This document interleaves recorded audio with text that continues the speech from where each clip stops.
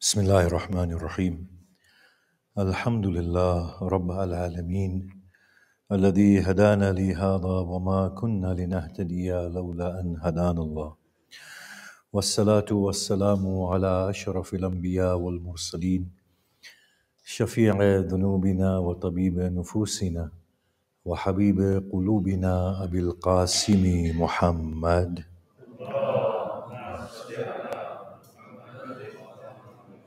وآله الطيبين الطاهرين وأصحابه المنتجبين ومن تبعهم بإحسان إلى قيام يوم الدين.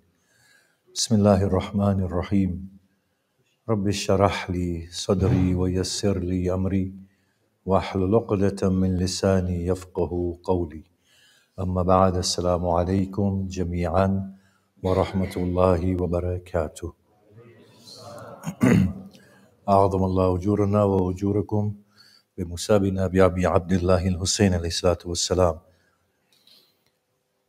You heard yesterday's lecture, and we're going to continue on that theme today and building up in the next few days towards some understanding and structure to our lives and our understanding of what we are all about, what God is all about, the role He plays, and how and what is expected from us, and how we are supposed to arrive at it.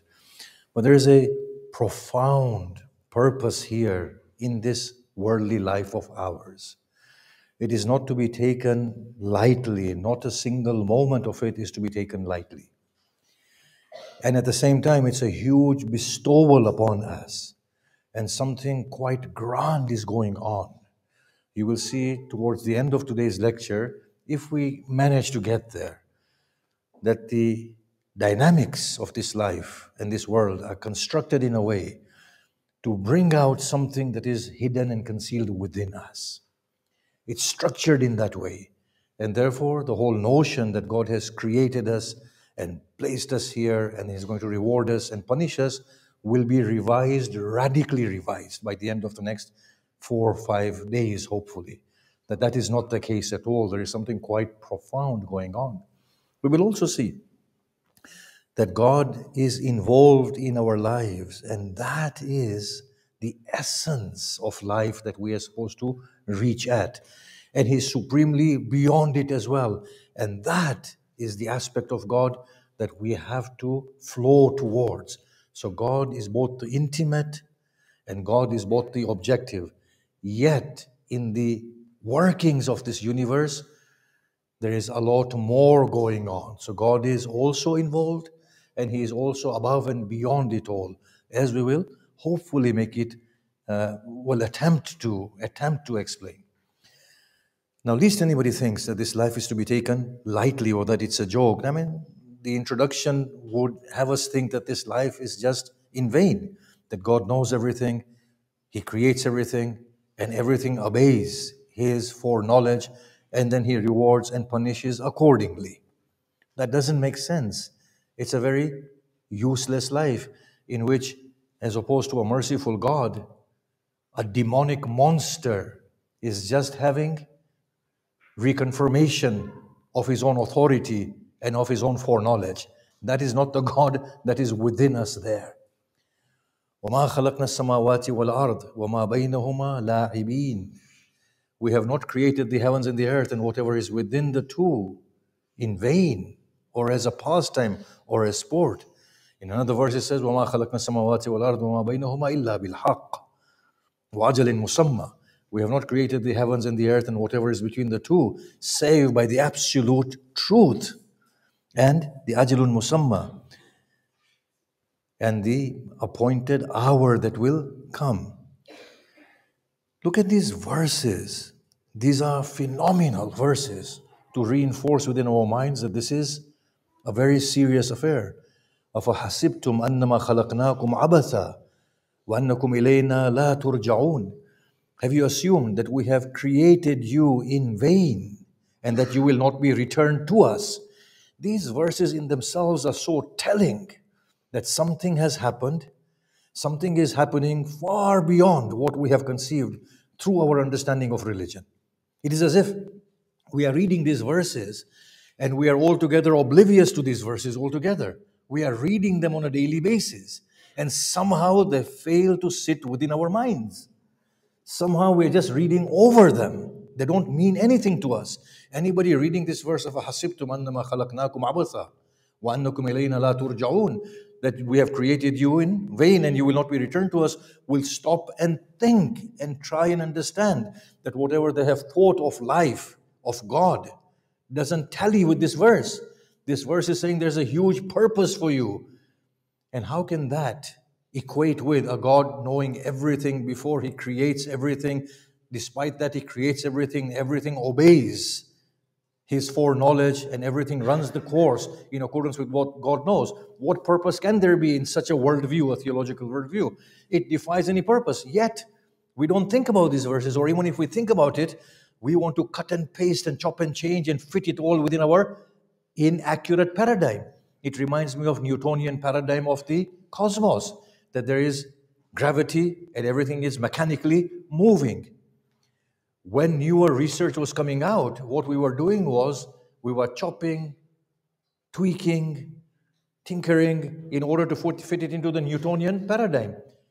Eventually, it became quite obvious that the Newtonian paradigm does not work. And then Einstein came. And now another paradigm is needed because the paradigm of Einstein answers majority of our cosmological questions, but the new questions that are taking birth, we are finding that we have to tweak Einstein's theory of relativity, general and special relativity. Am I showing off again? No, right? It's, it's quite okay, this is going through.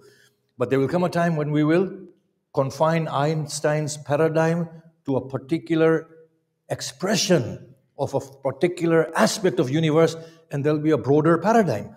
See this is what we do. This is what happens in our minds. You asked me 20 years ago i would have made perfect sense of all of these verses in my given paradigm. It is only when we are ready to check our assumptions again that we arrive at a world that is fluid. That thing that happened to me in the mashhad of imam Rada Salamullah alayh, that the universe just collapsed. It just did not hold together. The paradigm just went, it crumbled. This is what I'm trying to say here that we need to now think and understand that what we have understood and what we are understanding and the way we are thinking and the way we are receiving the Quran is not accurate at all.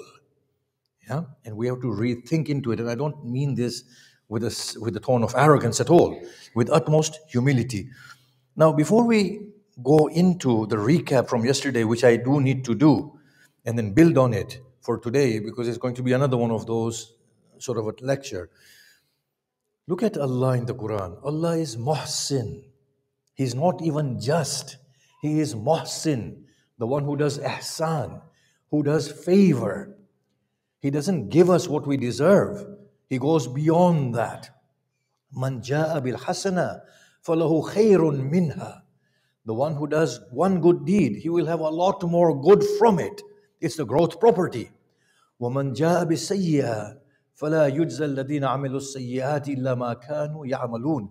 And the one who does an evil deed, then the people who do evil deeds, they will only get its recompense equal to the evil deeds that they've done. Inna Allah laysa bidhallamin lil abid. Allah is not oppressive to his creatures. So if you do good, God will go out of his way to do utmost more good for you. But if you do evil, his justice does not allow him to punish you beyond your evil deed. The role of God is phenomenal in all of this life of ours. God has to be understood and re understood again and again. You see, and we will explain this. God is that intimate companion of ours who has accepted us despite and in spite of knowing all our dark side and evils. God is the only one from whom we don't need to hide. Yes, there comes a point in which we feel shy from God and embarrassed. I do not deny that. But at times, the heart just yields to God and says, Allah, the greatest security that I have is that you know what goes on inside me. It is not hidden from you. I am a transparent medium in front of you that you can look at fully. And that gives me the full security And in tomorrow when I meet you, I'll tell you, Allah, you know what is in there. It's all evil and it's all whatever it is, and you know it. As Isa is asked, Isa, did you say this and that to the people? Isa said, Lord, if I have said it, you know it. You know what is in my soul. I do not know what is in your soul. Why are you asking me? That is what God is. The one with whom we can be one. You are my Allah.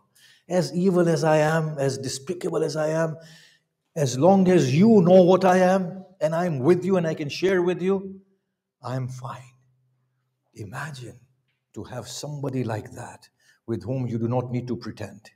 That is Allah. Dhalika hu Allah. That is Allah. The one with whom we bond so intimately. That is the Allah that the Prophet and Imam Ali and Al Hassan and Al Hussein worshipped. That was the God that they worshipped. Not this God of paradise and hell. I mean, that's also God. Don't stop worshipping, please. Don't stop praying. I'm going to talk about this later on not today, in a few days' time. But that is the intimate bonding that we have with God. Now we are recapping from yesterday. We stated the verses are on the WhatsApp link that has been sent to everybody, I believe, but I'll still say it so we can bring it out on our smart devices. Yesterday we said the Quran is the word of God. But who is phrasing the words of God? Who is phrasing the message? The message may not be worded as far as the message is concerned. Allama Tabatabai has a phenomenal discussion on, on it that Allah has sent the verses. Summa fusilat. And then these verses have been torn apart and set into words. So when Allah reveals, they do not have words, they are just meanings. And then they are rendered into Arabic language, as we said yesterday, we gave those verses, that they are then phrased in Arabic in accordance with the context of the Prophet Muhammad and whatever is happening around him and then the message is coming. So who is wording it? So yesterday we said the we in the Quran is not necessarily all the time the royal we. Remember? And we got, went through those verses. And we said sometimes it can be angels, but these we are claiming to create the angels as well. So if they are angels and they are lofty angels, Imam Sadiq says these are awliya of Allah, the very lofty awliya of Allah that act on behalf of God. So we said the angels act on behalf of God, so the awliya are acting on behalf of God. But these awliya are more superior to the Prophet because the verse that we read yesterday that if any one of these noble creatures of God, the prophets, if they were to claim God had for themselves, we will throw them into hell. So these, whoever the we is in this instance, is well beyond the Ambiya and the Imams. They're well beyond it. Yeah? It is the realm of what I will call loosely realm of divinity. Now, let's go to uh, verse, uh, Surah 42, verse 51. I'll take it slowly, even though it might take longer. بسم الله الرحمن الرحيم وما كان لبشر أن يكلمهم الله إلا وحيا It is not right for a man that God should speak with him save through revelation or inspiration. Because the word revelation, wahi, in the Quran is also used in the meaning of inspiration and instinct. وَأَوْحَيْنَا إِلَى أُمِّ مُوسَى We reveal to the mother of Moses. وَأَوْحَى رَبُّكَ إِلَى النَّحْلِ Your Lord revealed to the bee. That's instinctual. Yes? وَأَوْحَيْنَا إِلَيْهِ أَن سَبَّحُوهُ بُكْرَةً وَأَوْحَى إِلَيْهِمْ Zakaria أَوْحَى إِلَيْهِمْ He gesticulated to them. So the word wahi here, saved by wahi means by subtle means, the message is conveyed, but directly. Yeah? Oh, min warai hijab, or from behind a veil. So they might hear a voice from behind the veil. We are told that is possibly Kallam Allah Musa taklima. God spoke with Moses, and he singles out Moses in the verses. He gives everybody their miracles, but he singles out, the Quran singles out Moses. وَكَلَّمَ اللَّهُ Musa taklima and God spoke with Moses. So it might be min wara'i hijab. أو يرسل رسولا or God will send a messenger فيوحي بإذنه ما يشاء and the messenger will then reveal through the consent of God whatever he wants. Now, it could be whatever God wants or whatever the messenger wants who has been ordained by God. Now, we are seeing that there are several ways in which God is communicating, either directly or from behind a veil or through a messenger. But in the first one, the direct communication maybe is the finest one, in which there is no mediation of words. The second one is very intimate one, but there's a mediation of words. The third one is mediation of words, possibly with expressions that are constructed. So you have a meaning, which is then rendered into words by the messenger, and the messenger here is an angel. Yes? For yuhi This messenger that God sends is an angel, and we will see that in just a little while. It's not the prophet, it's the messenger. Messenger is the angel revealing it to the prophet. Now, here, the angel who is revealing it to the prophet, for convenience sake, I'm saying angel, is phrasing the message of God in accordance with the circumstances and the context of the prophet immediately. Yes? So, Bibi Aisha is being accused of uh, uh, an unchaste act. Surah Nur comes, exonerates her. Anyway, the person who came with pride, accusing her, لا تحسبوا شر لكم وهو خير لكم. Oh Muhammad, do not see that, do not think that that is evil for you, it is good for you. But that particular wahi was phrased exactly in accordance with the circumstance of the Prophet.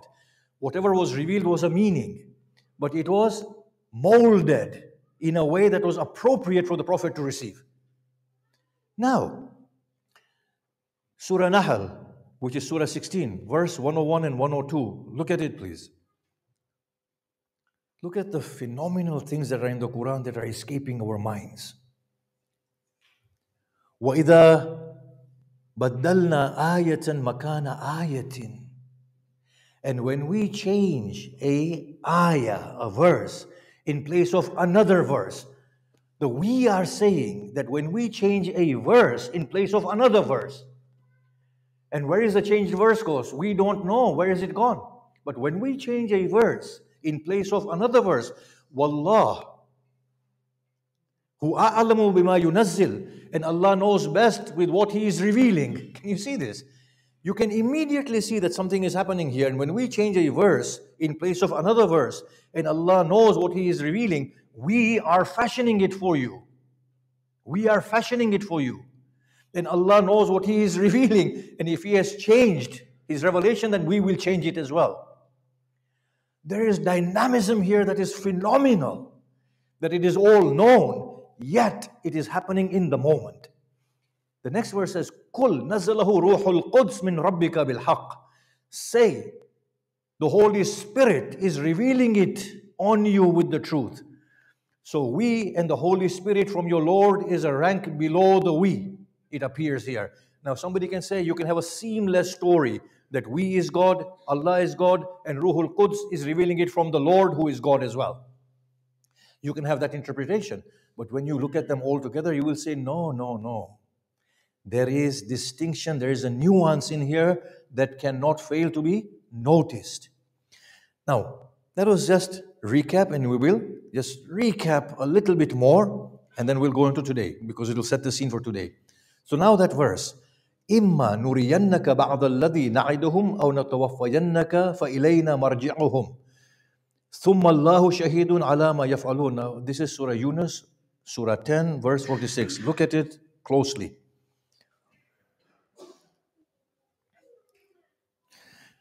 Look at the verse and the tonality. Imma nuriyannaka, we will either show you ba'dul ladhi na'iduhum, some of what we promise to do to them, O Muhammad. أو نتوفينك, or we will seize you before that, i.e., we will take your life away before we do it. So there is ambivalence here. We will either do this or we will not, right? Now we are saying God does not have that ambivalence. So these are other agencies that are talking on behalf of God and ordained from God. Now look at the verse. فَإِلَيْنَا مَرْجِعُهُمْ They will all return to us. Now look what happens. ثُمَّ اللَّهُ شَهِيدٌ عَلَى مَا يَفْعَلُونَ And then Allah will be a witness on what they do. So Allah is kept as a separate portion of the verse. We will either show you or we will take you away. You know, you don't know what we are going to do. Once the whole story of humanity ends, they will come to us. And then Allah will be a witness at that point. You can see that the we is distinctly something else, either the royal we, or we as God with angels, or we as just other than God, but ordained by God nonetheless in a system that is a unitary system, inevitably. Now, again, we're going to the we because I just find it very important to point this out so that next time when you or I read the Quran, the virus is so prominent in the brain, we never read it the same way again. Yeah? You do know when the virus enters, it wipes the hard drive clean, right? These kids don't know what hard drive means anyway. Yeah, they, they just work with their iPhones. Look at this verse Surah Maryam 19, Surah 19, verse 85. If anybody is any doubt that there is a distinction between we and God, look at this verse. يوم نحشر المجرمين إلى الرحمن وفدا The day in which we raise the guilty towards the Rahman in groups. Rahman is God. قل ادعوا الله أو Rahman. Say, call him Allah, call him Rahman. These are names of God the day in which we raise the guilty to the Rahman in their groups. So we who are doing the raising are other than Rahman to whom the raising is being done. So we here is not God. Yes, it's not the royal we. At least in this verse, it seems to be very clear. Now, if you didn't if you didn't think that was enough, then turn to Surah 70, verse 40. Not only I stopped at this verse when I was reading it again and again, but I know others who have studied under me independently. When they came to this verse, they got startled. They said, What is this? How can we make sense of this? Have you got it? فلا أقسم برب المشارق والمغارب إنا لقادرون I swear by the Lord of the Easts and the Lord of the Wests, we are most certainly most capable. I, Lord, and we, all three combined in one verse. I swear by the Lord of the Easts and the Lord of the Wests, we are most certainly most capable. Look at the phenomenal nuance here. Quran from day one never wished to hide anything. What is doing the hiding is not the Quran, is our presumptions in there. Something that is so obvious becomes concealed because we don't want to look with the eye of clarity. Alhamdulillah, Rabbul Alameen. Allah is Rabbul Alameen. But then you have Rabbul Masharik al Magharib as well. So all the rububiyyah is Allah's. He is the absolute Rabb. He is the Rabb of all things. And every rububiyah, minor rububiyah, is God's rububiyah as well. But you've got I, Rab, and we conjoined in one verse. I hope that's done the damage. Now we're going to the word Rab. If you look at the word Rab in the Quran, it's used in three ways. One is Rabbul Alameen, as the Lord of all. One as the personal relationship that each one of has, us, us has with God independently. And one is Rab, another entity clearly, and we will understand that more by reading the Bible. And one is Rab as a real entity whose attribution is to God. So there are four ways. I'm going to discuss possibly three today. Go to Al Imran. Surah 3, verse 38 to 40. We're going to have two references from Al Imran, yeah? This is something we need to look at, yeah? Now, Nabi Zakaria saw that Bibi Maryam was receiving food miracul- miraculously. So he said, Where is this from? She said, This is from my God. Now, Zakaria was moved with emotions. He turned to his God, inward turning. He did not articulate this. It was possibly the inner speech with God, or he even said it, either or. هنالك دعا رب زكريا ربه At that point, Zachariah called his Lord. This is the inner calling. Might be articulated, but he's going calling Allah Rabbul Alameen. Kala Rabbi. He said, My Lord, habli min ladunka dhurriya tayyiba. Grant me from yourself a goodly offspring. Innaka sami'ud du'a. You listen to the supplication. In response to this prayer that he makes to God, فَنَادَتْهُ الْمَلَائِكَةِ The angels called out to him. The angels called out to him. وَهُوَ قَائِمٌ يُصَلِّي فِي الْمِحْرَابِ He was praying, standing in the mihrab. أَنَّ اللَّهَ يُبَشِّرُكَ بِيَحْيَى Allah gives you good tidings of Yahya, musaddiqan bi kalimatin min Allah, who will verify the word of God, who is Isa, who is supposed to come next. وَسَيِّدًا وَحُسُورًا He will be a Sayyid and he will be confined to the mosque. وَنَبِيًّا And he will be a prophet. وَمِنَ الصَّالِحِينَ And he will be amongst the righteous ones. So this is what the angels are telling Zachariah in response to his, his plea, My Lord, that is made inside his heart and possibly articulated by words. What does Zachariah do after that? The angels are speaking with Zachariah. Yeah? The angels are speaking with Zachariah. I'm doing it this way, so I'm not Zachariah, but that's the natural way you gesticulate, right? You know, the mood is very heavy. Lighten it. You know, when we laugh a little bit, the point goes in. Yeah? Salawat.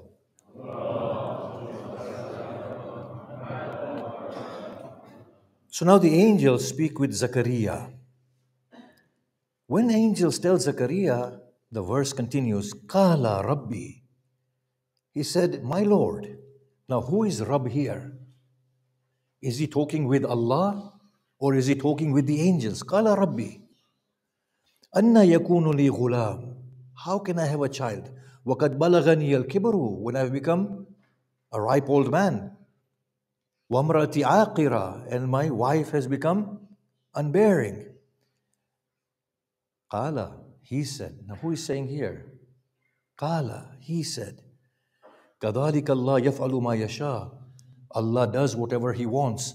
This is a response Zachariah is getting from somebody that Zachariah is talking with. Can you see that? Otherwise, if it was God, he would say, Ana af'alu ma asha. I do what I want. So the angels called out to Zachariah, Inna Allah yubashiruka bi ghulamin ismahu Yahya. He said, Rabbi, anna yakunu li. How can I have a child? Qala, he said, you, Allah does whatever He wants. You can see clearly that there is a distinction. Now, if you read the Bible, the biblical texts, Genesis, at least the book of Genesis, you will see, and of course the later books, the word Lord was used not only for Allah, it was used for respectable uh, human beings.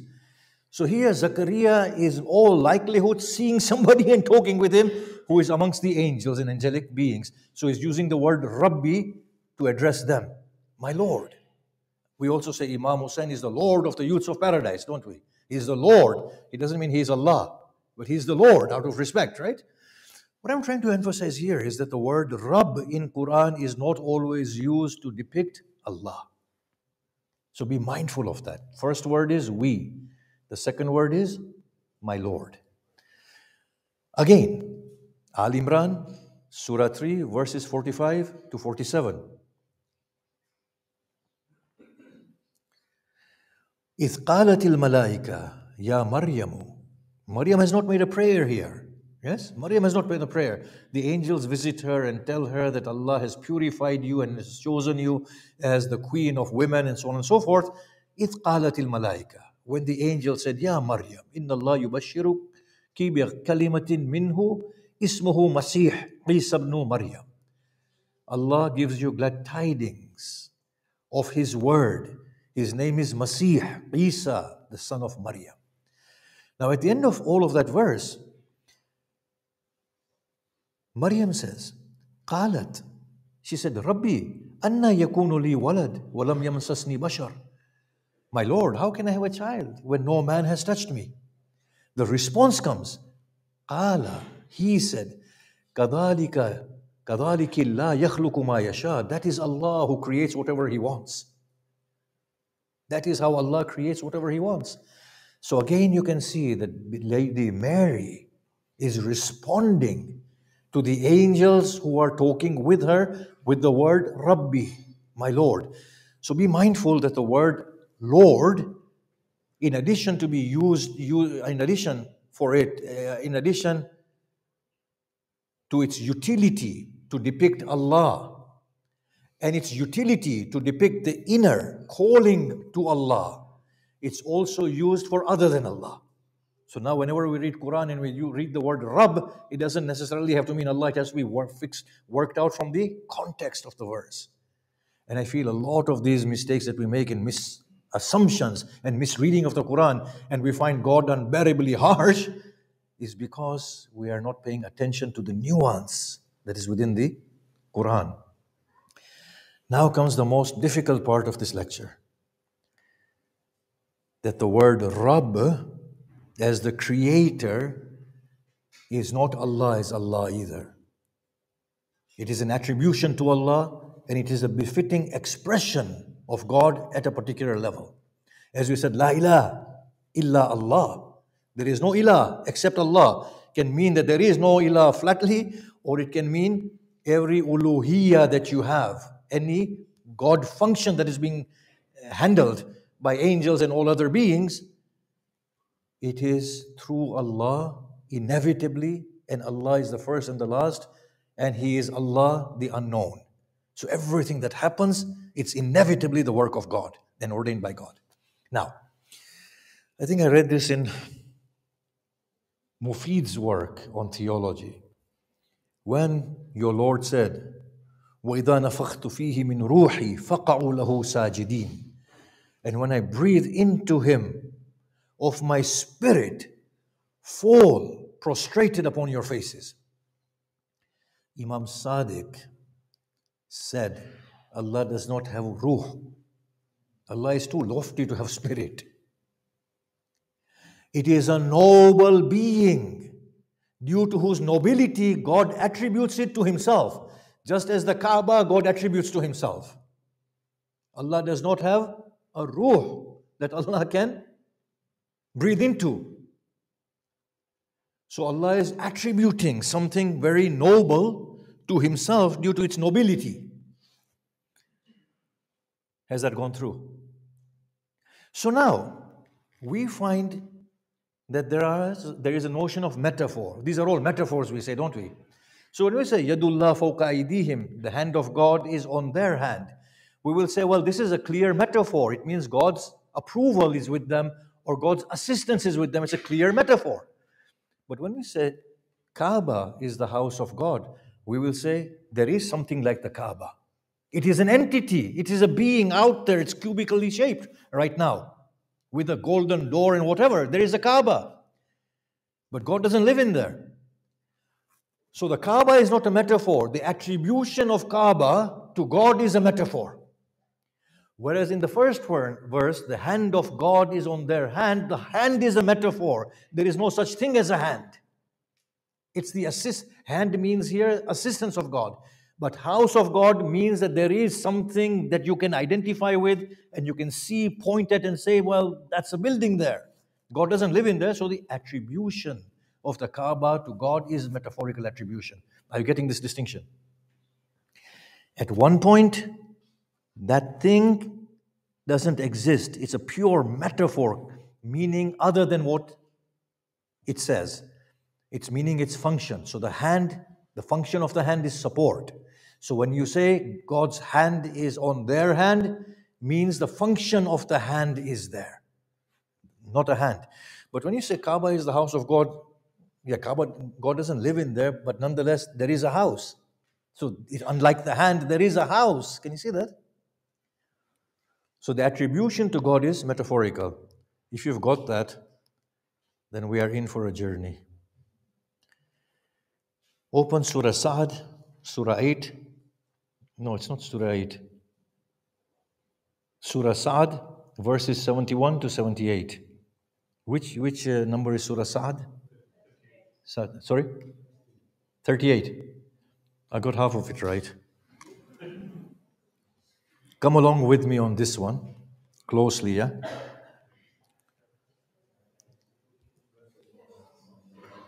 Have you got it? Verses 71 to 78. Read these ones very, very closely with me. Okay? إذ قال ربك للملائكة When your Lord said to the angels, إني خالق بشرا من طين I am creating a bashar, one with skin, bashar, loosely human. I'm creating a bashar from clay. فإذا سويته ونفخته فيه من روحي and when I have structured him and breathed into him of my spirit فقعوا له ساجدين fall prostrated before him. The ruh was blown into the bashar, Adam. فسجد الملائكة كلهم أجمعون The malaika fell in prostration, all of them, each one of them. The Quran is emphatic here. إلا إبليس, save for Iblis. استكبر وكان من الكافرين. He behaved with pride and was amongst the deniers or the refuters or the adversaries. We want to explain that later on in this series. قال يا إبليس He said, Oh Iblis, ما منعك What prevented you أن تسجد from prostrating lima for the one خلقت I created بيدي with my two hands. Can you see this? This is not one hand. This is two hands. Now, أستكبرتم كنت من العالين Have you acted in pride or are you amongst the lofty ones? These are all huge references here. قال أنا خير منه I'm better than him خلقتني من نار وخلقته من طين You have created me from fire, you created him from clay. قال فاخرج منها فإنك رجيم Get out of here. For indeed, you are the banished one. وإن عليك لعنتي إلى يوم الدين and upon you is my curse until the day of Deen. You will be removed from my presence. Now, a Lord is speaking with Shaitan, with Iblis, calmly having a conversation. Why didn't you, why didn't you prostrate to the one I created with my two hands? So I'm not going to because I'm better than him. You created me. So he's admitting you, have the, you are the one who created me. From fire, you created him from. Get out from here. Is there a place? Get out from here. Away with you. Get out. In another verse, Ahbat minha. Fakhruj minha. Both of these are used. Get out, drop. Drop from it, get out from it. You can clearly see the verses in this genre that are talking about the creation of Adam, they are using the notion of two hands. And a conversation ensues between Lord and between Iblis. That conversation is a heated conversation at times. Iblis, get out upon you my curse. Do you see this one that you favored upon, um, favored me uh, upon me? I will misguide all of them, and you won't, you you shan't find any of them. Thankful to you, I'll fill the hell with you all. See, here the Rabb is an entity whose attribution is to God. This is the most difficult part of it, whose attribution is to God. It is ordained by God. The work is God's work. But just like as the Quran is being rendered, the work, the handiwork of constructing Adam is not to be attributed to God as the unknown. God as the absolute, overwhelming beauty, the first, the last, the apparent, the hidden, the light of the heavens and the earth but God in the capacity of Rabb, where Rabb is an attribution to God. Can you see this? So when we read the Quran, be mindful of these nuances. Now, if that has gone through, it'll keep you awake tonight. Look at the next verse Fajr 89 22. 89 22 verse 89 uh, sorry surah 89 verse 22 وَجَاءَ رَبُّكَ وَالْمَلَكُ صَفًّا صَفًّا On the day of Qiyamah, your Lord will come, and the angels lines upon lines. Can you see this? This is again attribution. Surah Haqqah, verse 69. Uh, sorry, Surah 69, verse 17. وَالْمَلَكُ عَلَىٰ أَرْجَائِهَا And the heavens will appear frail, and you will see angels at its corners. وَيَحْمِلُ عَرْشَ رَبِّكَ, ربك فَوْقَهُمْ يَوْمَئِذٍ ثَمَانِيَةً And the throne of your Lord will be carried on that day beyond the heavens by eight. Eight angels or eight beings will be carrying the throne of your Lord. Yeah? Allah doesn't need a throne. God as the ineffable one, Huwa.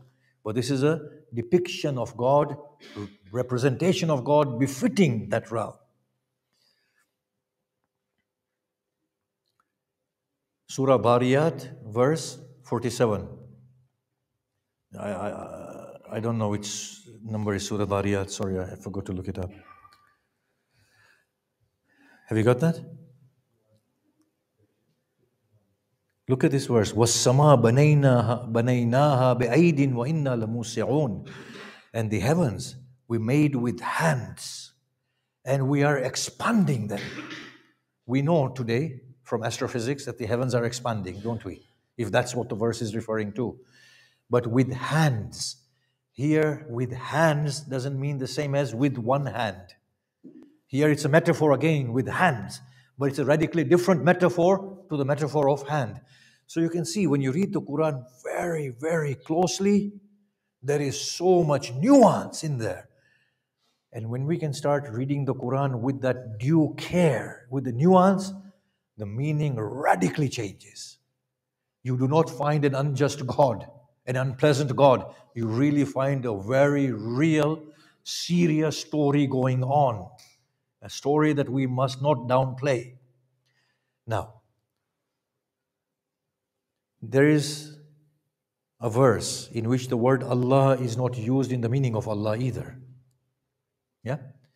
Surah Baqarah, if you read from the beginning, who is the target audience by and large? Tell me quickly. It's not the Madinian Muslims. Who is it? The target audience the Jews, the Jewish, three clans there, prominent clans. So you will see, وَإِذْ قَالَ رَبُّكَ لِلْمَلَائِكَةِ إِنِّي جَاعِلٌ فِي الْأَرْضِ خَلِيفَةً After that, those sequence of verses, Adam out from here, the story of Israelite starts. Verses upon verses, a hundred odd verses are talking about the Israelites and Nabi, their cow and their this and their that and the mountain and everything. Sulaiman because it's all relevant to the Israelites. After those verses finished, other verses are talking about ahkam of Islam. And they're also talking to the Jews. Now here comes a verse. Surah 2, verse 210. Yeah. Look at this verse. هل ينظرون إلا أن يأتيهم الله في ظلل من الغمام والملائكة وقضي الأمر وإلى الله ترجع الأمور Do they wait save for Allah to come to them in clouds of smoke with the angels and pass the decisive decree? Now, I read the Shia Mufassirin back in the day and they said, look, this is a metaphor. Allah doesn't come within clouds of smoke, right? It's true. Allah doesn't come in the clouds of smoke. But the Quran is hinting at something else. You see, Quran is phenomenal. It's very particular about its target audience. It uses the word sometimes in accordance with the mind that it is addressing. If you look at the word, the, the book of Exodus, it's a biblical sort of book. Third or fourth book, I can't remember. Moses and others, they pray. This is, O Lord, we see you at night in a pillar of light, and in the daytime we see you within a cloud of smoke. So, as the Israelites were going on their journey on the Exodus, there was the Lord accompanying them. And the way they saw the Lord was in a pillar of light at night and a cloud of smoke in the daytime. This verse, the Jewish people understood immediately what the verse was trying to say because they associated that being and Lord, that, that, that being as a Lord, and they called it Ilah. They called it Ilah in their language. And therefore, the Quran is retaining the same word for them, so it makes perfect sense to them. هل ينظرون إلا يأتيهم الله في ظلل من الغمام I obviously I'm speculating here that this is what it means and it's not a metaphor it's there so the Jews to understand هل يأتي هل ينظرون إلا يأتيهم الله في ظلل من الغمام وقضي الأمر والملائكة وقضي الأمر so the Jewish people actually understood it and that's why the Quran is adamantly saying to the Jews you know this is from God this Quran because no one has access to this knowledge apart from you and apart from God. Who could have brought this sort of a verse out there? But my point in saying this is that when we read the Quran, the we may not be the royal we. Rab may not mean Allah as Allah. And at one occasion, the word Allah definitely, as Mufassirin say, is a metaphor. And I think from the reading of the Bible, it is actually using the word Allah in the context of how the word, how the Jews, Jewish people were using the word ilah in that instance of the cloud of smoke. I'm not going to finish a whole chunk today. I'm going to leave it. But we go to the verses to express the real purpose that is going on here, and we will be carrying that on for the next few days. Why are we here? And I'll conclude. أم حسبتم أن تدخلوا الجنة ولما يعلم الله الذين جاهدوا منكم do you assume that you will get into paradise and Allah has yet to know the people who will struggle amongst you? So there is something that is unknown in there. And the whole of this world is playing a particular drama and a game for us to reveal what is deeply within there. You will find verses. Those bound to hell and destined to hell will go to hell, but they have to reveal their hellishness. it's amazing the way the Quran says it. Those bound to hell will go in hell, but they have to reveal their inner being. Then another verse, I'm just going to suffice with two here. ما كان الله ليذر المؤمنين على ما أنتم عليه حتى يميز الخبيث من الطيب God will not leave the faithful people in the dire situation in which you are until He distinguishes the loathsome from the pure. And in Surah Ali Imran, you will find verses upon verses of this category that He will bring out what is inside you. He will reveal to you what is inside you. We will not direct you save to the path of hell. There is something that has happened well before our arrival into this world. There is something hidden inside there that at every breath and at every step is being caused to be revealed. The tests of this world are constructed in such a fine tuned manner that it is all geared to prompt the inner being to reveal itself. But in that process of revelation, God is giving an opportunity that you can rectify it. As I finish, when the Muslims got defeated at Uhud, many of them ran to Abu Sufyan. And they said, Spare us our lives and readmit us into the worship of Lat and Uzza. Then they felt a sense of regret and embarrassment.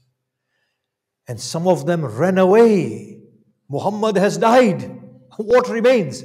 The Quran says, mata or qutil. Even if Muhammad was killed, or he died, shall you turn away on your heels? Do you think that's it? You have to go towards God. You have to defend the truth. When they realized the unwholesomeness within, they became mindful and they regretted and they refined their souls And that is when they entered within the folds of faith. They were headed somewhere despicable. The test was created to reveal to them what they really are. As a result, there was mercy and they changed their fate altogether. It's a phenomenal world. Something phenomenal is going on. We need to understand it or get a catch a glimpse of it at least. Keep God as the most beautiful one, the most intimate one. Read the Quran. He is with us, and we have to move through this life with full confidence in God and not belittle God or His commands. Pray, obey the code of modesty, fast. There is a reason why the Quran is commanding this and God is commanding this. And we will discuss this in a couple of days' time. Be the most faithful and most obedient creatures of God, but not in a bodily fashion, with reverence for God and in order to attain that deep purpose that is hidden there. Umar ibn Saad spends a whole night ruminating, thinking. His son reports, My father was restless last night. Shall I kill Hussein and incur the damnation of God?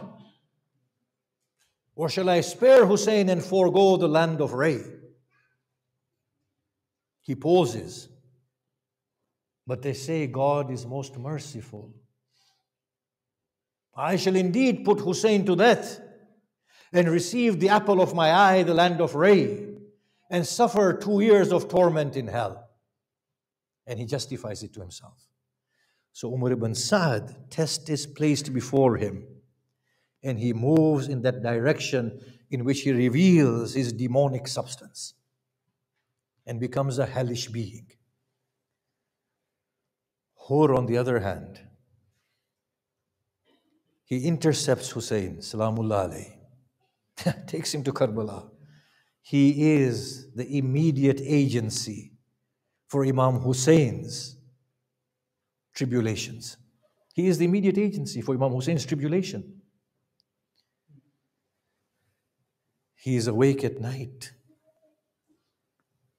before the dawn of Ashura, thinking, we shall not fight them. No, no, they will not put Hussein to death.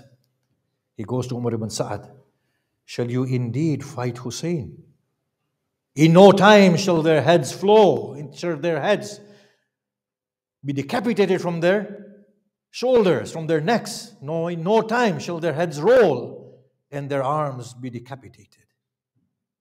He understood the intent of Omar. He was retreating and he heard the call of Hussein at the dawn. Hal min Nasir, Yansurna, Hal min Mughis, Yughithuna.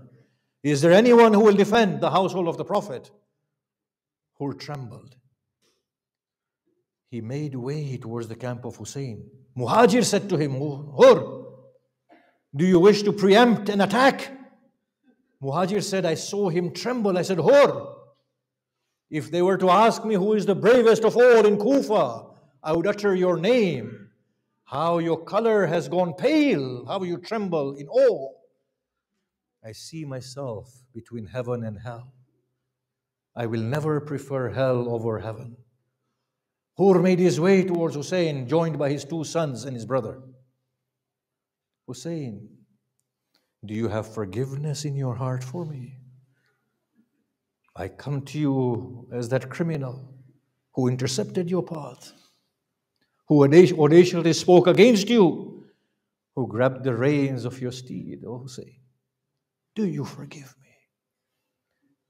Dear brother, descend from your steed. Allah has forgiven you and I have forgiven you. Hussein, allow me to offer an apology to the daughters of the Prophet and the daughters of Fatima. I come to you penitent, O daughters of Muhammad. I come to you guilty. I am the one who is a cause for you to be trapped in this wilderness, for your brother to be killed on this day. Have forgiveness in your heart for me and do not complain to your grandfather, the Prophet, about me. The cries filled the air. he stepped down from his steed and started beating his face. If only my hands and feet had become paralyzed. If only my tongue had been severed before I said what I said to Hussein. Some women came out and consoled her. Hur came to Hussein, saying, Allow me to fight alongside you. Hussein said, Then be it. Goes, gives his two sons and his brother. Like a gallant warrior, he faces them. May God not quench your thirst for doing this to the grandson of the Prophet. I am Hur, the most hospitable in Kufa, renowned for the way I treat my guests. Is this how you treat your guests? They unleashed their swords upon him. He fought them gallantly. His horse was killed. He stood on his foot. He fought them until a fateful blow was delivered upon his head. As he fell to the ground and trembled, Hussein looked on. Alayka salam minni. Peace be with you from me, O Hussein. With Habib, Hussein arrives at the body of Hur, takes his head and places it into his lap. Ni'am al Hur, al Hur Yazid al Riyahi. The best of Hur is the Hur of the son of Yazid al Riyahi. He said, Hur, your mother has named you accurately. Hur broke into a smile. Habib said, Hur, is his grandfather quenching your thirst with the goblets of Kawthar?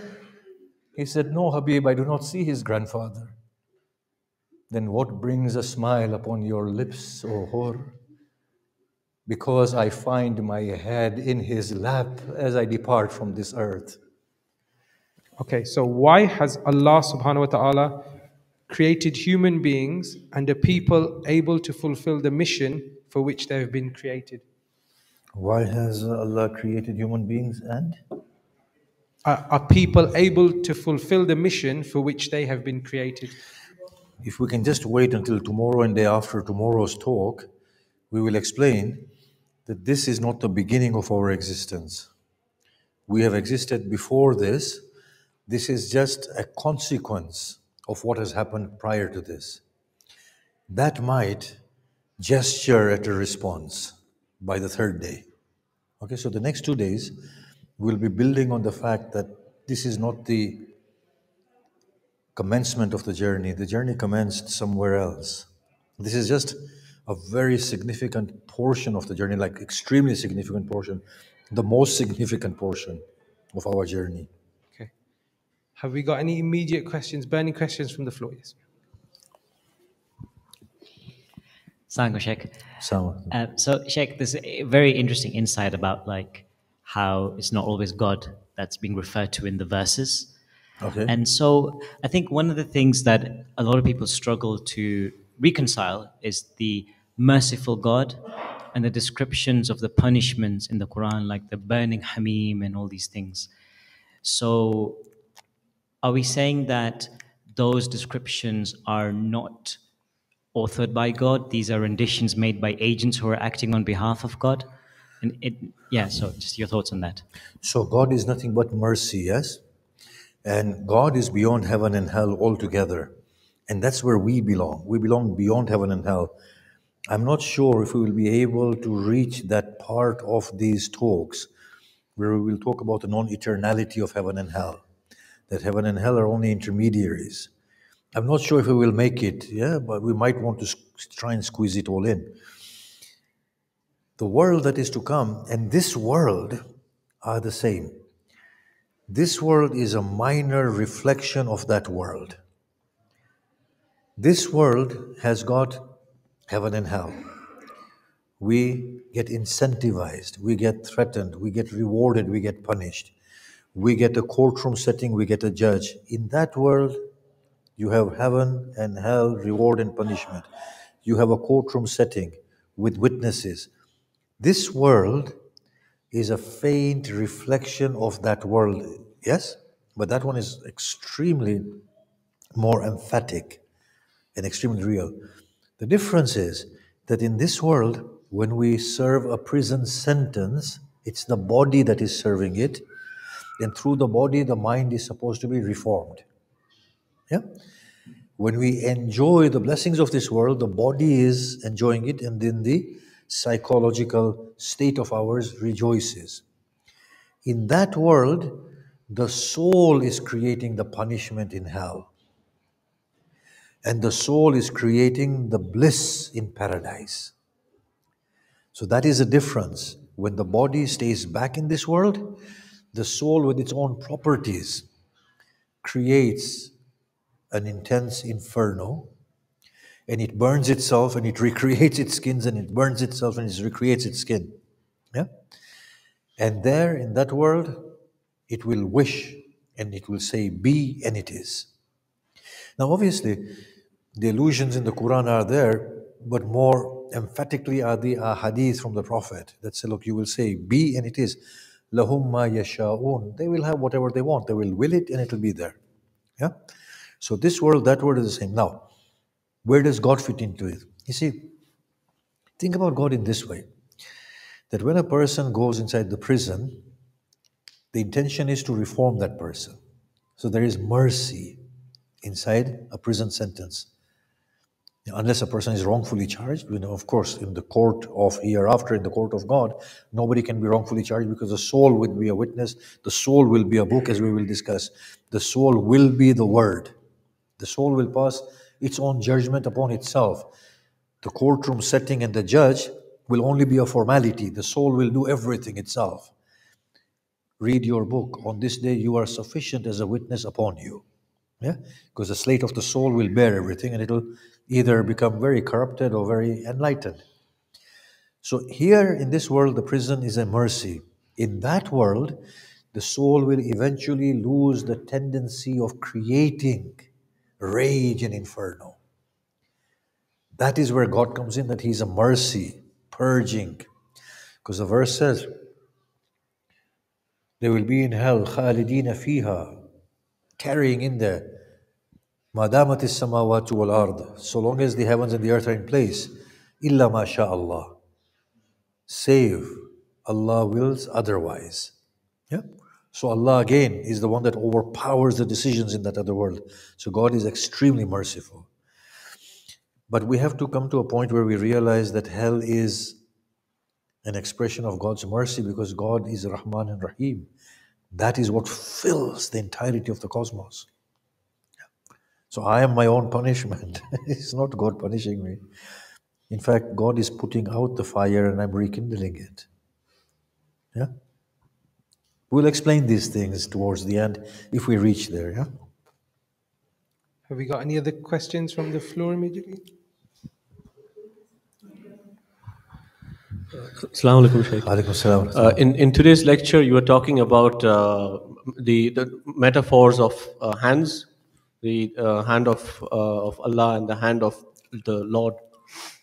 Uh, what, what in, in terms of metaphors, uh, are, is, are we saying the hands are not a metaphor? So are we, uh, are we saying that what we are now talking about as Lord has an anthropomorphic uh, existence or? So, so the thing I said was that if you look at the hand in the Quran, God's hand is on their hand. That's a pure metaphor because hand depicts the function of the hand, which is support.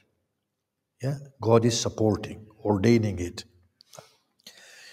The heavens, we have created them with hands and we are constantly expanding. It's, no, it's a metaphor again, but it's not the same type of a metaphor. Here it means variety of things that were in play and are in play that are expanding the universe. It's a metaphor, but not the same type of metaphor. I created with my two hands now, here, the hands are not metaphor in the sense of its function. Here, the hands are like the Kaaba. The Kaaba is a real thing, hands are a real thing, but its attribution to God is metaphorical. So, like saying, Prophet, you did not throw the stones when you threw them, rather, God threw. You did not kill them when you killed them, rather, God killed them. That does not mean that they did not get killed physically. They did get killed physically. But the attribution to God is somewhat of a metaphor. So there is a real throwing of a stone. Its attribution to God is metaphorical. Similarly, there is a real fashioning of Adam. Yeah? But its attribution to God is metaphorical. Not to say that those hands mean the simple metaphor like hands, God's hand is on top of their hands, God's ability. Because then God will say, Why did you not prostrate to the one I created? Or created with my one hand, or created with my hand? And then you wouldn't get subsequent exchange with Iblis. Why have you not prostrated? How dare you? Get out of here. Upon you my curse till the day of Qiyamah. That subsequent conversation is quite telling that there is a real conversation taking place there. It's been attributed to God, just like Prophet, you did not throw, rather, God threw. Something physical happened. Yeah? So conversation did take place. But God, the lofty one, cannot be approached by a devil. He is very insignificant. God is God. You know, you can't, devil can't have the right to talk with him like that when the Prophet Muhammad doesn't talk with God like that. Yeah? Can you see that? Even Moses doesn't talk with God like that.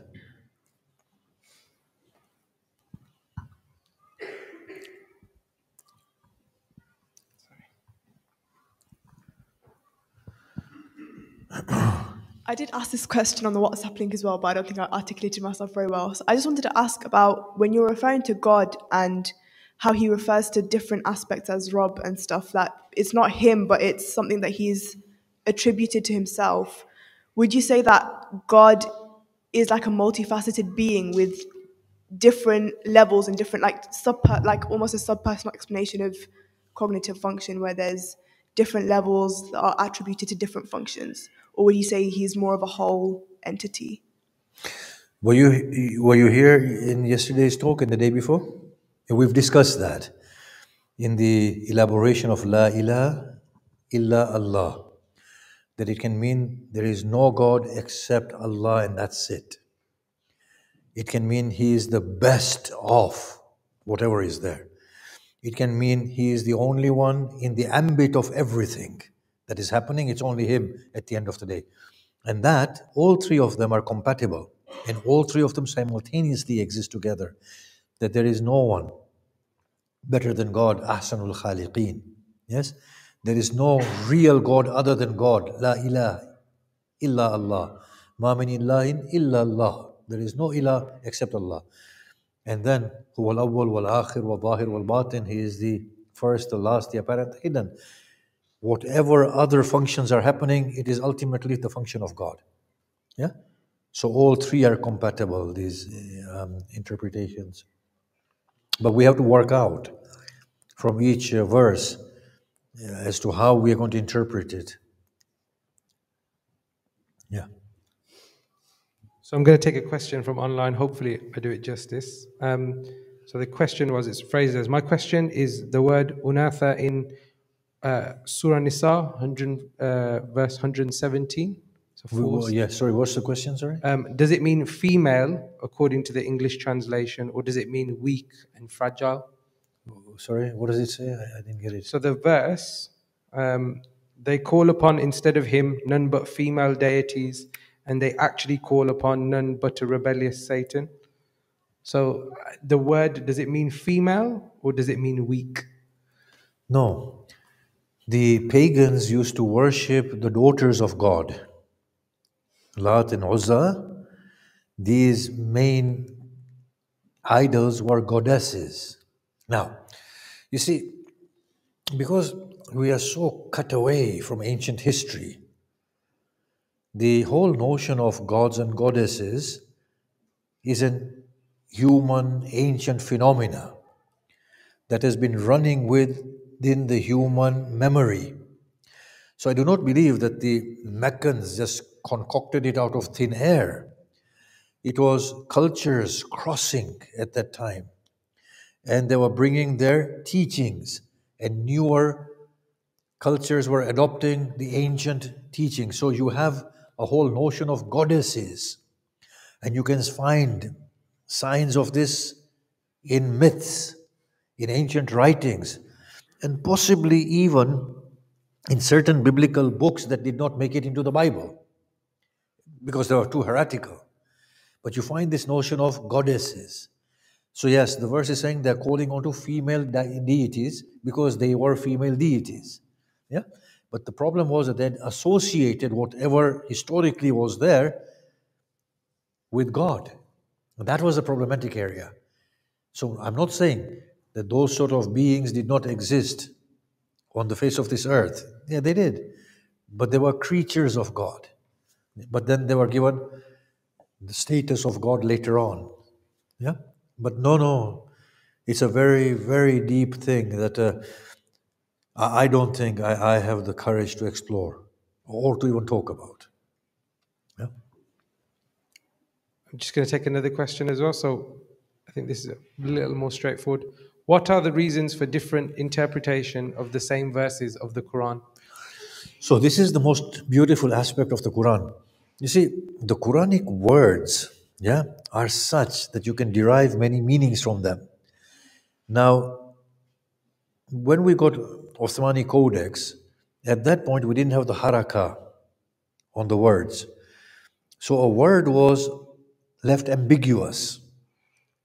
People could interpret whatever they could interpret. But then the harakas were placed on the words and the meaning was tightened. Yeah? It was made firm that this is the meaning by and large that you will get. But it's the natural curiosity within our minds, based on the prophetic hadith, that the Quran has an apparent and a hidden, and another hidden, and another hidden, and another hidden. Then it, it has matla that no one but God knows. Yeah? So each and every part of the Quran has inevitably a meaning that is not known by anyone. But before that, we can explore the layers of meanings, either from the actual word or the sequence or comparison of one word with another, or one verse with another, or in the context of the whole. It's a phenomenal thing, the Quran. It's like mind blowing. Now, that the Quran leaves open for us to explore. I remember a hadith in which a, a person came to Imam Sadiq and he said, This Quran seems to renew itself. We said, Yes, that's the nature of the Quran. It renews itself. But renews itself with what? With the advancement of the human intellect. So it mirrors the human intellect. As the human intellect advances and sharpens, the Quran yields those sharper meanings. And I think we have a, a hadith in the Sunni literature that the Quran or parts of the Quran will not be understood save after 1400 years. The Prophet has reported to have said that. Yeah?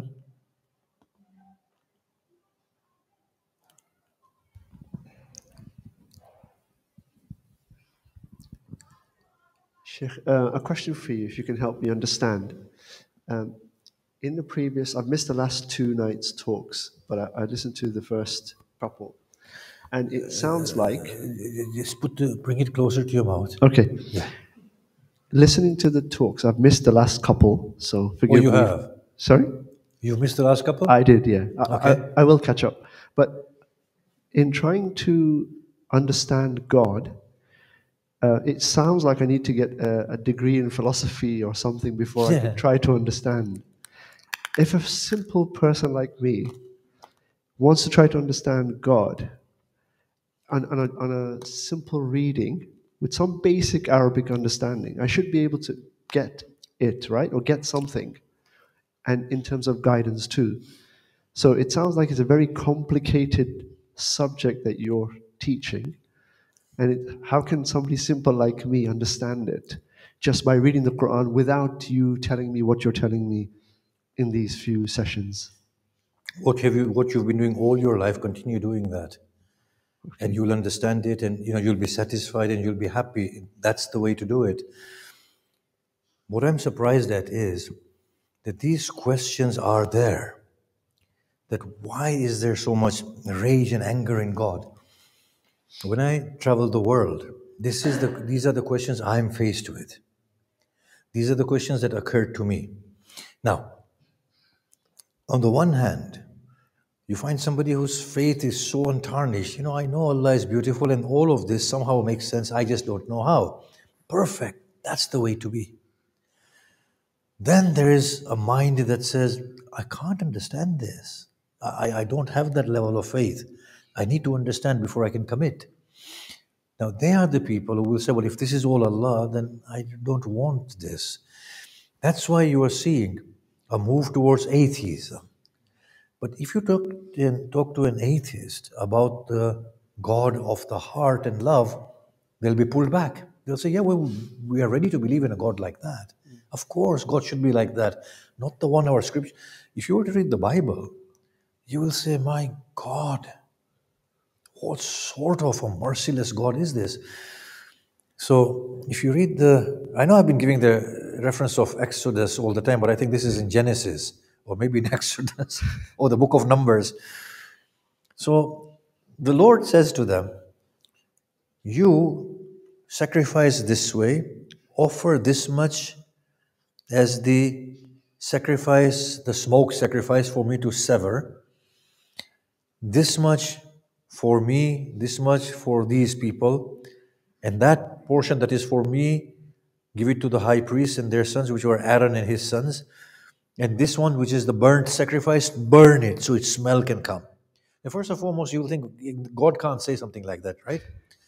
Now, Aaron, who is Nabi Harun, his son or sons,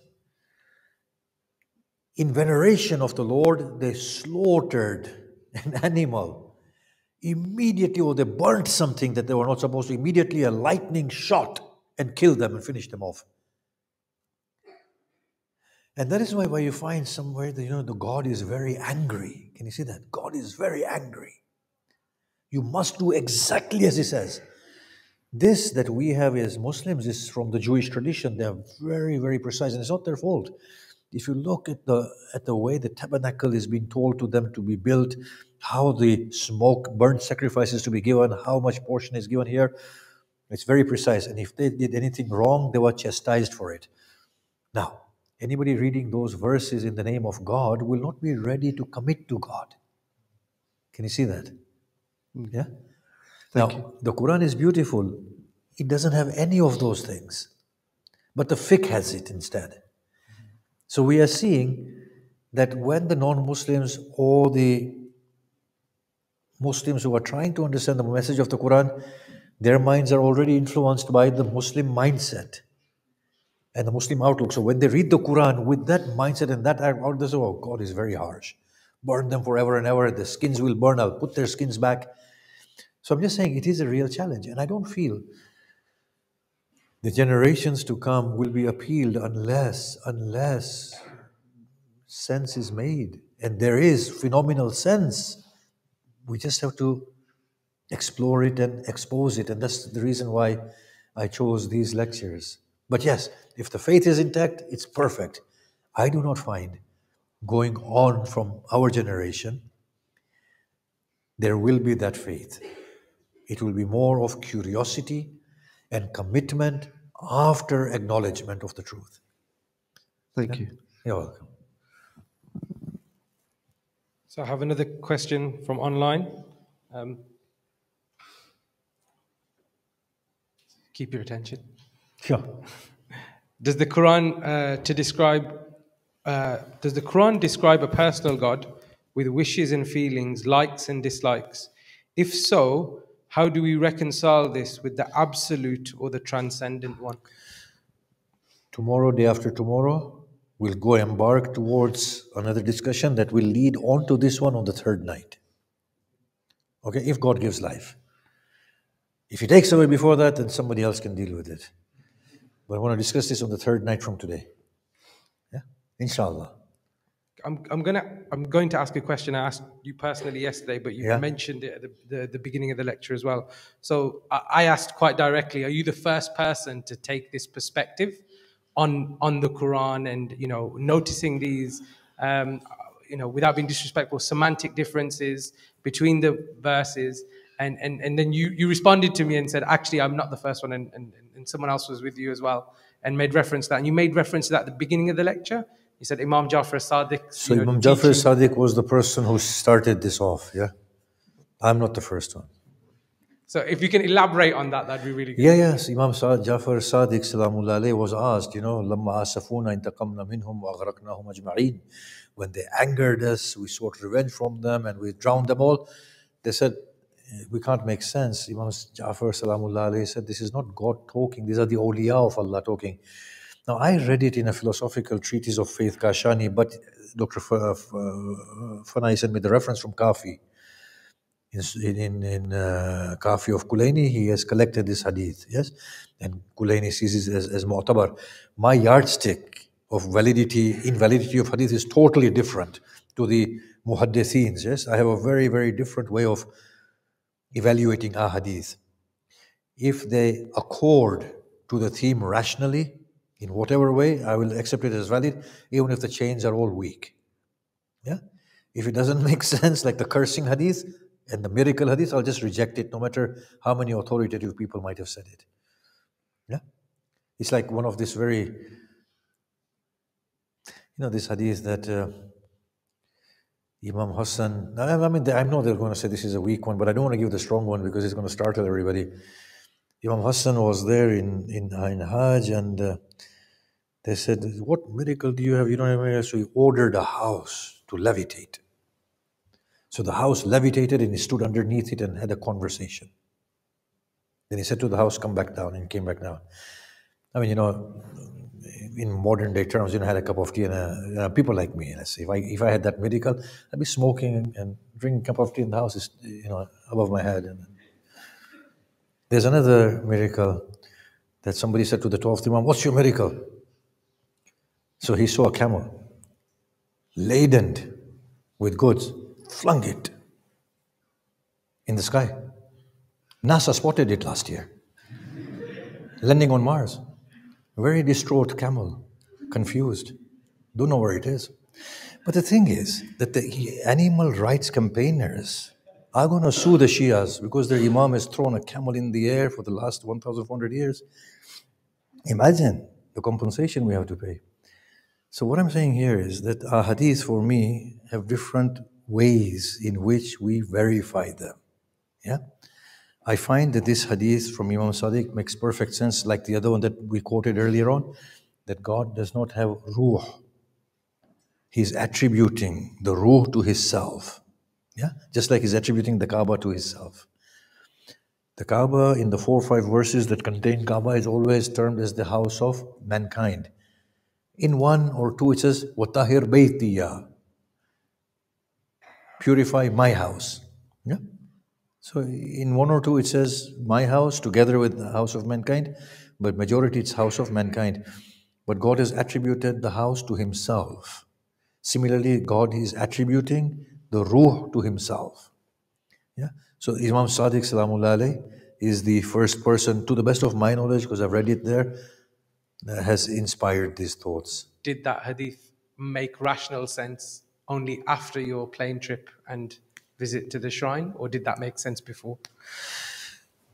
This thing happened at the time when I went to the shrine, actually. It's, it's, it's a huge thing. Because I was studying Faiz's work, Usul Ma'arif, at the age of just before the age of 40. Yeah, you're right. It all happened together. This hadith, the shrine incident, all of this was happening together. It's amazing you asked that. It was happening at that time. Yeah. That's it? Got another question. There's anybody else at the back, please? I haven't got eyes in the back of my head. But I will look. Sheikh. Uh, just kind of following on from my previous question about the uh, the, the the hands that fashioned uh, Adam alayhi salam. Uh, so you said the, the the the act of fashioning and is what is attributed to Allah, right? No, one is a metaphor, hand represents the function. One is hand represent hand. Yes? But the attribution is to God. Just like Kaaba represents a building, but the attribution is to God. Yes. Yeah. So th- that implies there's another entity which has fashioned. Uh, Well Adam if, alayhi you, well, if you read the verses of the Quran, وَإِذَا سَوَّيْتُهُ Yes? And when I have balanced it off. Inni khalikun minatin bashar. I'm going to create from clay a man. Creation means to shape.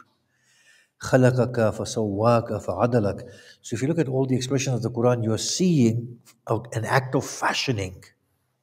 And of course, he said, says to Iblis, Lima khalaqtu biyadiyya, the one I created with my two hands. Yeah? So, so there, there was a real act taking place. Yeah.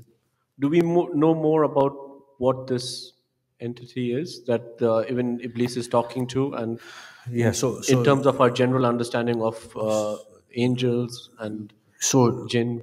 So, so here, obviously, obviously, the only way out of this is to say it's a representation of the Lord of the worlds at a befitting level of creation of humanity. That's the best response we can give for now. Yeah? It's the best response we can give for now.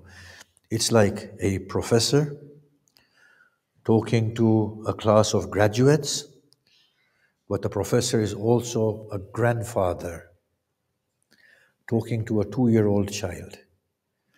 So the professor talking to graduates will talk differently.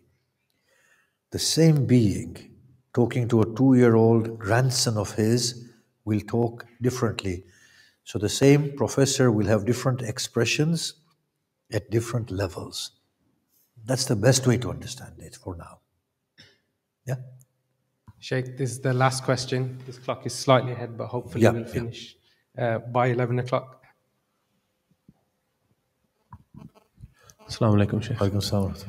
Um, Sheikh, how do you reconcile criminals with Allah's mercy? So, from your opinion as a Sheikh, um, someone, someone like Hitler, for example, killed so many let's say millions. so where does God's mercy come into that? Or will God, uh, you know, the way most of us will understand it is um, He's merciful, but at the same time, to those kind of people, to evil, he, so I'll say tomorrow that there is no difference between a demon and a saint. They are all in coming from one soul. Yeah? We are all part of the same one soul. In there is a being that does not understand gender, that does not understand evil, that does not understand good in the way we have understood. That being is the untarnished beauty. This state is a state of blemish and adulteration. Hell and heaven hopefully will purge us of this state. Even being a saint is a veil, being a demon is a veil. So we're going to explain that from tomorrow. But God as God, God as God doesn't have enemies. God, as the Supreme One, is too much beyond having enemies. He's too grand.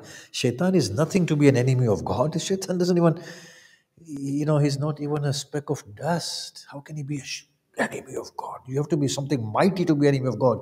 There is nothing mighty to be an enemy of God. Yeah? So nothing can be the enemy of God. God is way too beyond. Yeah? You can be enemy to somebody like your own self. Yeah?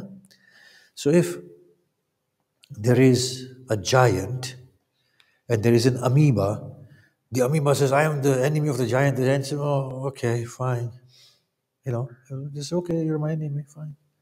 He doesn't have time for the amoeba. Do you get it? It's too lofty, too great. On the other hand, who has created the devil in the first place? Who? Can you see that?